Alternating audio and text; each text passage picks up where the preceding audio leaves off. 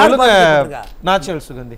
இப்போ என்னன்னா போக்குவரத்து துறை நாங்க செய்யறது சரியா? நாங்க செய்யறது தான் சரின்னு அவங்க ஒரு பக்கம். இந்த பக்கம் காவல்துறை நாங்க ஆக்ஷன் எடுக்க தானே செய்யணும். அதுதானே எங்களுக்கான சட்டம். அதுதானே எங்களை எங்களுக்கு கொடுக்கப்பட்ட வேலை அவங்க. ஆனா மக்கள் இதுல பாதிக்கப்படுறாங்களா இல்லையா?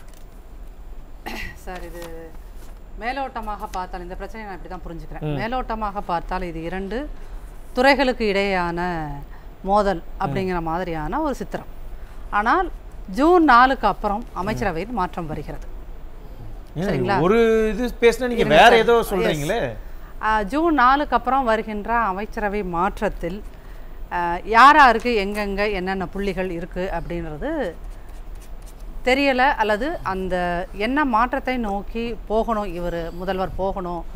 முதல்வர் ஏன்னா அந்த முடிவெடுக்கக்கூடிய இடத்தில் முதல்வர் மட்டும் இல்லை. பத்திரிகைகள் திரும்ப எழுதுகிற மாதிரி திரும்ப திரும்ப சொல்கின்ற மாதிரி அந்த குடும்பத்தில் இருக்கின்றவர்களுடைய பங்களிப்பும் அதில் இருக்குது. டெசிஷன் மேக்கர்ஸுங்கன்றது அவங்க குடும்பத்தை சார்ந்த நபர்களாகவும் இருக்கிறார்கள் அப்படிங்கிறதா இவர்கள் டே ஒன் பதவியேற்ற முதல் நாள்ல இருந்து இன்ன வரைக்கும் நம்ம சொல்கிறது அதுதான். சரிங்களா? அப்படிங்கும்போது இப்போ வந்து இது இந்த இந்த எந்த துறையும் இவரோட கண்ட்ரோல் இல்லைங்கிறது இன்னைக்கு மட்டும்தான் உங்களுக்கு தெரியுதா? வெள்ளம் வந்தது. வெள்ளம் வந்தப்போ இருக்கின்ற துறைகள் அத்தனையும் வந்து கோஆர்டினேட் பண்ணி தான் வேலை செய்யணும். காவல்துறையும் வேலை செய்யணும். வருவாய்த்துறையும் வேலை செய்யணும். எல்லாருமே சேர்ந்து தான் அந்த வெள்ள கட்டுப்பாட்டு. உதவி செய்தல் எல்லாமே இருக்குது. அதில் இங்கே சென்னையில் மட்டும் இல்லை. இங்கே தென் தமிழகத்தில் வந்த போதும். உங்களுக்கு அங்கே கோஆர்டினேஷன் இருந்ததா? இத்தனைக்கும் வெள்ளம் வரும் அப்படின்றத நம்ம ஒரு ஒரு முன்னாடியே சொல்லிட்டாங்க. சொல்லிட்டாங்க. அப்போ இவங்க யார் மேலே பழைய போட்டாங்க? யார் மேலே பழைய போட்டாங்க தெரியுமா? வெள்ளம் நிறையா வந்துச்சா? இந்த மாதிரி மழை பெஞ்சா? அந்த மாதிரி மழை பெஞ்சான்னு சொல்லிட்டு நீங்கள் வானிலைத்துறை அது சென்ட்ரல் சொல்ல வானிலைத்துறை சென்ட்ரல் கவர்மெண்ட் மேலேயே நீங்கள் வந்து அவங்க தவறாக கணித்தார்கள். நீங்கள் அவரை அவங்க மேலே பழிய போட்டுட்டு நீங்கள் என்ன பண்ணீங்க? ஒரு தனியார் வானிலை ஆராய்ச்சியாளர்னு ஒருத்தர் கூட்டிகிட்டு வந்து அவரை ப்ரெஸ் மீட் கொடுக்க வச்சிங்க. அப்படிங்கும்போது இவங்களுக்கு எப்போதும் எந்த பிரச்சனை இந்த பிரச்சனையும் இல்லை. இந்த போக்குவரத்து துறை பிரச்சனை மட்டும் இல்லை. எதையுமே அவங்களால சரியாக ஹேண்டில் பண்ண முடியல அப்படிங்கிறதா இது உறுதியாகுது. ஒரு பெரிய வெள்ளத்தையும் ஹேண்டில் பண்ண முடியல. பத்து ரூபாய் டிக்கெட் எடுக்கக்கூடிய பிரச்சனையையும் அமிகபிளாக முடிச்சுக்க தெரியல. இப்போ இந்த பிரச்சனையை வந்து இப்போ மூன்று நாட்களாக வந்து இந்த பக்கம் காவலர்கள் அவங்க வந்து போலீஸ் வந்து எங்கெங்க நீங்கள் நோ பார்க்கிங்கில் நின்னாலும் சரி இந்த பா இந்த பக்கம் நிற்கல அந்த பக்கம் தள்ளி போய் நின்னீங்க எல்லாத்துக்கும் நம்ம ஃபைன் போட்டுட்ருக்காங்க. இவங்க வந்து என்னோட பவர் என்ன தெரியுமா? என் துறைக்குன்னு சொல்லிட்டு ஒரு பவர் இருக்குது இப்போ என்னன்னா நீங்கள் கெத்தா நான் கெத்தா. ஈகோவா ஈகோ ஈகோங்கிறது இது வந்து அல்டிமேட்டாக உங்களுக்கு என்னன்னா அங்கே டிக்கெட் எடுக்காதவர்களை தான் தெரியுது. டிக்கெட் எடுக்கல ஃபைன் போட்டுட்டாங்கன்ற அந்த கடைமட்ட ஊழியர்களை தான் தெரியுது. இந்த கடைமட்ட ஊழியர்கள் வந்து இப்போ எப்படியும் பிஹேவ் பண்ண மாட்டாங்க சார். சரிங்களா? அவங்களுக்கு எங்கேயோ உயர் இடத்துல இருந்து ஒரு சப்போர்ட் வருது. அந்த சப்போர்ட் யாரு? இப்போ இவன் ஒவ்வொரு டிபார்ட்மெண்ட்லேயும் ஒரு ஏடி இருப்பாரு. ஒரு டிடி இருப்பாரு ஒரு ஜேடி இருப்பாரு. இவங்க இதில் மேனேஜர்ஸ்னு இருப்பாங்க ஜிஎம்னு இருப்பாங்க இல்லையா? அப்போ இந்த சப்போர்ட் எங்கேருந்து வருது? மேலெடுத்த அதிகாரி. அதிகாரிகள்ல இருந்து வருது. சரிங்களா? இப்போ அந்த ஜிஎம் கிட்ட இருந்து ஒரு இந்த இந்த கோட்டத்தோட சென்னை கோட்டம் விழுப்புரம் கோட்டம் இந்த கோட்டத்தோட ஜிஎம்க்கு வந்து அப்பா நீ இப்படி பண்ணு. என்ன ஆனாலும் நான் பார்த்துக்கிறேன். அப்படின்னு அப்படி அவர் வார்த்தையை சொல்றாருன்னா அந்த ஜிஎம்க்கு அந்த பவர் எங்கேருந்து வருது? யார் கொடுக்குறா அந்த பவர் அமைச்சர்கிட்ட இருந்தா? அப்போ அமைச்சர்கிட்ட இருந்தா? ஐஏஎஸ் ஆஃபீஸர்ஸ் கிட்ட இருந்தா? அவங்க துறை ஐஏஎஸ் ஆஃபீஸர்ஸ் யார்கிட்ட இருந்து? செயலாளர்கள் யாருக்கோ கிட்ட இருந்தா வருது. அப்போ அந்த செயலாளருக்கு யார் கொடுக்குறா? ஏன் நீங்க பிரச்சனை பண்ணுங்க. எது வந்தாலும் நம்ம பார்த்துக்கலாம். அப்போ இது ஒரு செயின் இது ஒரு செயின் ரியாக்ஷன் உங்களுக்கு கீழ்மட்டத்திலிருந்து கடைமட்ட ஊழியர் இப்படி செய்கிறார் கண்டக்டர் இப்படி செய்கிறார் அப்போ அவருக்கு மேலே இருக்கிற ஜிஎம். அவருக்கு மேலே இருக்கிற செயலர் செயலருக்கு மேலே இருக்கின்ற அமைச்சர். அப்போ இது என்னது? இங்கே பிரச்சனை அப்படிங்கிறது நம்ம மீடியா கண்ணில் பார்க்கறது கடைமட்ட ஊழியர்கள் அடித்துக்கொள்வது ஆனா பிரச்சனை எங்க? ஆனா இது ஒரு பிரச்சனையே இல்லைன்னு சொல்றாங்களே. சார் அவர் வந்து பிரச்சனை இருக்குன்னு சொல்லிட்டு ஒத்துக்கிட்டாருன்னா அவர் உண்மையிலுமே கட்சி சார்பெல்லாம் இல்லாம அதை வந்து ஆமாங்க இது ஒரு பிரச்சனை தான் அப்படின்னு ஒத்துக்கிட்டாருன்னா அவர் வந்து உண்மையிலுமே மக்களோட பக்கம் நிக்கிறாரு. இந்த பிரச்சனை என்னங்கிறத ஆராய்ச்சி செய்கிறார் அனலைஸ் பண்றாரு. ஆனா அவர் வந்து என்னன்னா இந்த அரசாங்கத்தை காப்பாற்றணும்னு நினைக்கிறார். இப்போ இது என்னன்னா இரண்டு பேர் சரி அது ஒரு சின்ன பிரச்சனை. டிக்கெட் எடுக்கிறாங்க எடுக்கல. நம்ம ரெண்டு பேர் பேசி முடிச்சிருந்தா அந்த பிரச்சனை முடிஞ்சு போயிருக்கும். அப்போ இது திரும்ப திரும்ப மூணு நாளா மீடியால இதுதான் பேசிக்கிட்டே இருக்காங்க. பேசிக்கிட்டு இருக்கும்போது ஏன் சிவசங்கர் அவர்கள். இந்த பிரச்சனையை அவர்களுடைய துறை சம்பந்தப்பட்ட அதிகாரிகளோட பேசி இதை இதோட முடிச்சுக்கோங்க. நீ ஏன் அவரால் சொல்ல முடியல. இங்க காவல்துறையோடு ரீச் பண்ண முடியலங்கிறாங்களே. சொல்லும்போது என்ன சொல்றாரா அவங்கள ரீச் பண்ண முடியல. அவங்க தொழில் ச- திமுக தொழிற்சங்க ஆட்கள் அவரை அப்ரோச் பண்ண முடியல அப்படின்னா அப்ரோச் பண்ண முடியலையா? அப்ரோச் பண்ண கூடாதுன்னு அவர் மறைந்திருக்கிறாரா? ஓ.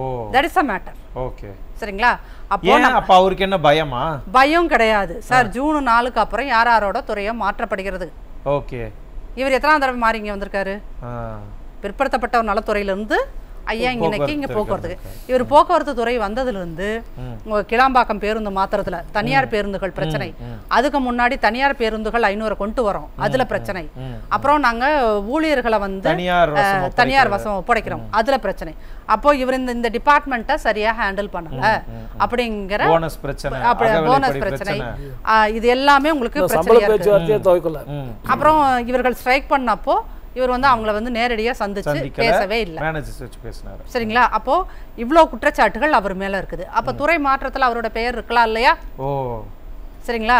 அப்போ நீங்க ஒருவேளை அப்படி ஒரு காப்பாத்திக்கிறதுக்காக தன் பார்த்துட்டு இருக்கிற துறையில இருக்கிற எல்லாத்தையும் பலி கொடுக்கறது? இல்ல அவருடைய தலைமையில இருக்கக்கூடிய முதலமைச்சர் வந்து நம்ம பயிற்சிக்க கூடாது.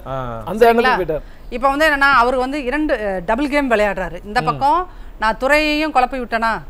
எங்கேயோ ஒரு ஐஏஎஸ் ஆஃபீஸர் எங்கேயோ ஒரு ஜிஎம் என்னமோ. இன்னைக்கு அது தமிழ்நாடு அளவு பேசப்படுகின்ற பிரச்சனை ஆயிடுச்சு சரிங்களா? அவர் யாருக்கிட்ட மோதுறாரு? முதல்வரின் கீழ் இருக்கின்ற காவல்துறையில் மோதுகிறார். சரியா போச்சா? உங்க உங்ககிட்ட என்னால் டைரக்டா மோத முடியாது சார் ஆனா நான் இன்டைரக்டா உங்கள்கிட்ட மோதிட்டு இருக்கேன்ல. உங்கள்கிட்டயும் நான் மோதணும். மோதுற மாதிரி இருக்கணும். மோதாத மாதிரி இருக்கணும். இந்த ஜூன் நாளுக்கு அப்புறம் என் துறை அந்த துறை கையிலையும் இருக்கணும்.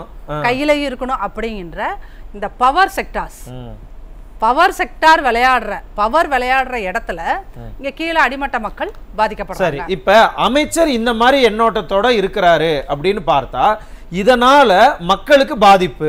அது ஒட்டுமொத்த திமுக அரசு மேலதான எதிர்ப்பு மனநிலையை மக்களுக்கு கொடுக்கும். அப்ப முதலமைச்சராவது இதுல ஒரு பிரச்சனைக்கு நம்ம தீர்வு கண்டறலாம் அப்படின்னு முதலமைச்சர்ல அது முடிவு எடுக்கணும். ஏன் அவர் ஏன் தயங்குறாரு இந்த இடத்துல? இந்த மூன்று வருஷங்களில் முதல்வர் ஒரு பிரச்சனைக்கு நேரடியா வந்து இன்வால்வ் ஆகி நான் இதை சால்வ் பண்ணி கொடுத்தேன்னு ஏதாவது ஒற்றை பிரச்சனைங்க த- தமிழ்வேந்தன் சார் வைப்பாரா? அவரு ஏதாவது ஒரு பிரச்சனைக்கு வந்திருக்காரு குழு சார். போட்டிருக்காரு.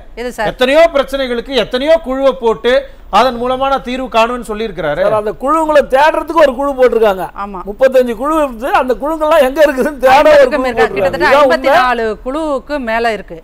அந்த குழுவுல இன்ன இன்ன வரைக்கும் முதல்வர்கிட்ட போய் இந்த எத்தனை குழு போட்டீங்க அந்த குழுவோட தலைவர்கள் யாரு உறுப்பினர்கள் யாரு அவங்க எல்லாம் ஃபங்க்ஷன் ஆகுறாங்களா அப்படின்னு கேட்டீங்கன்னா நிச்சயமா பதில் இருக்காது. சரிங்களா? இத்தனை குழுக்கள் போட்டும் சரிங்களா?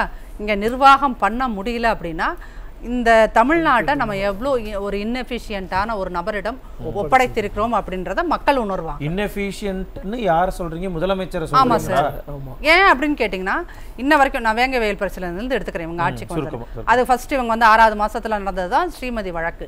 அந்த ஸ்ரீமதி வழக்குல இருந்து வேங்கை வயல் வழக்குல இருந்து இன்னைக்கு இந்த மூணு நாளா இவங்க அடிச்சுக்கிற இந்த சின்ன பிரச்சனை வரைக்கும் இவர் எதையாவது ஒரு முன் வந்து இதை நான் பேசி இந்த பிரச்சனையை நான் ஒரு நிர்வாக ரீதியா நான் தே நீங்க அட்மினிஸ்ட்ரேட்டிவா இதுக்கு என்ன முடிவு எடுத்தீங்க நீங்க பொதுமக்கள்கிட்ட வந்து டைரக்டா பேசுறது இருக்கட்டும் சார்.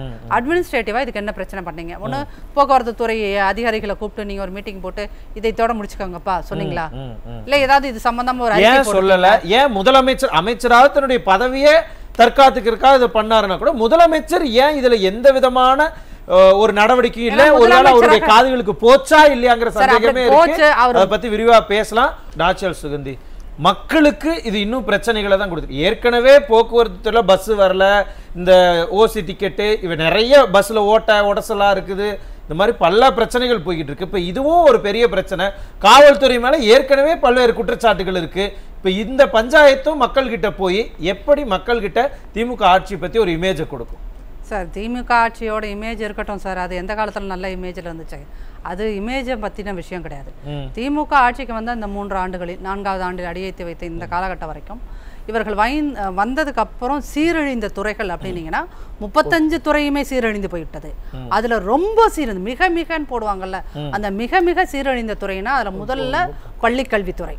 இரண்டாவது உயர்கல்வித்துறை மூன்றாவது காவல்துறை நான்காவது போக்குவரத்து துறை அத்துணை அரசு அலுவலர்களும் சரி கடைநிலை ஊழியர்களும் சரி இந்த அரசின் மீது கடும் கோபத்தில் இருக்கிறார்கள். அது எத்தனையோ வீடியோக்கள் வந்து வெளிப்படுத்திருச்சு. நாங்க ஓட்டு போட்டோம் அதனால தான் நீங்க முதல்வர் அடுத்த முறை நீங்க முதல்வர் ஆகிறதா இல்லையா அப்படிங்கிறது எங்களோட ஓட்டுக்கள் தான் டிசைட் பண்ணோன்னு பெண் ஊழியர்கள் பெண் ஆசிரியர்கள் ஆசிரியர் பெருமக்கள் பேசுகின்ற எத்தனையோ வீடியோக்கள் ரிலீஸ் ஆயிருக்கு. அப்படிங்கும்போது மிக மோசமான துறையாக இன்னைக்கு வந்து இந்த போக்குவரத்து துறை வந்து இருக்குது அப்படின்னா அதற்கு மிக முக்கிய காரணம் அமைச்சர். அமைச்சர் வந்து எப்போதுமே ஊழியர்களோடு அவர் அவர்கள் நடத்துகின்ற எந்த ஒரு போராட்டத்தையும் நேரடியா வந்து ஐயா என்ன நடக்குதுன்னு கேட்டாலே நிக்கவே இல்ல. அப்படிங்கிறது மக்களுக்கும் தெரியுதும் அந்த போராட்ட ஊழியர்களுக்கும் தெரிகிறது. சரிங்களா? அப்படிங்கும்போது இந்த திமுக அரசு மேல இமேஜ் என்னாகும் இமேஜ் என்னாகுனீங்கன்னா இப்ப இவங்க நாடாளுமன்ற தேர்தல்லாம் போகும்போது தெரு தெருவா துரத்தி விட்டதே உங்க இமேஜ் என்னவா இருக்குது அப்படின்றது தெரியுது. இப்ப ரெண்டு வருஷம் இருக்கும்போது நீங்க ரெண்டு வருஷம் கேட்கும்போது போன தடவை தெரு தெருவா ஊர் ஊரவா பண்ணுவாங்க. இனிமேல் வீடு வீடா துரத்துவாங்க. அதுதான் அந்த ரெண்டு வருஷத்துல என்ன மாற்றம்? போன போன இப்ப வந்து இருபத்தி நாலுல தெரு தெருவா துரத்தினார்கள். அப்போது வீடு வீடாக துரத்துவார்கள். அது மட்டும்தான் மாற்றம். துரத்தப்படுவார்கள். துரத்தப்படுவார்கள். அதுல எந்த மாற்றம்